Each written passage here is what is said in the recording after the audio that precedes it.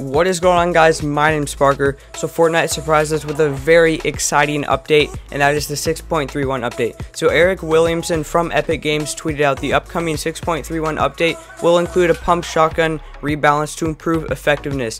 Damage will increase in close quarters and range will be reduced slightly. Additionally, all shotguns will have a minimum damage of 3 pellets even if 1 or 2 hit.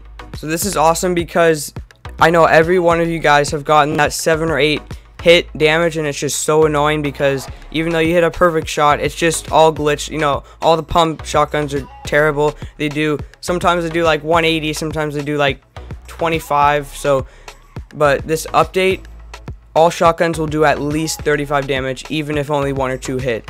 So that's very good for everyone because pump shotguns used to be so good you could one pump someone even if they had full shield and full health back in like season 3 and below, I, I believe. Season 4 even, I don't really remember.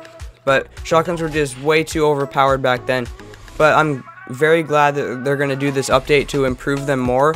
However, they will be reducing the damage at range, which is alright because, you know, there's always those people that are trying to use a shotgun from a really far distance and it's just not very smart. That's what ARs are for. So that's fine by me, but if you're really close to someone and you hit a headshot, then it's gonna do a lot of damage. No, that's a lot of damage! So, I cannot wait for this update. If you guys did enjoy it, be sure to smack like on it. And if you are new, please subscribe. And also let me know down below what you guys think about double pump. Should it be back? I think it should be, because that was pretty crazy. So guys, I'll see you in my next video.